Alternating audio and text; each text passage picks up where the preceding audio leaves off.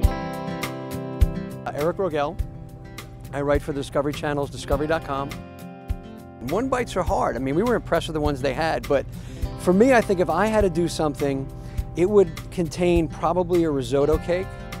Uh, I love some Italian sausage cooked over the flame, so it would have to have a little bit of that, maybe some basil, a little bit of uh, tomato, and some other things I, I don't want to get into now, just in case I actually end up, end up in this competition.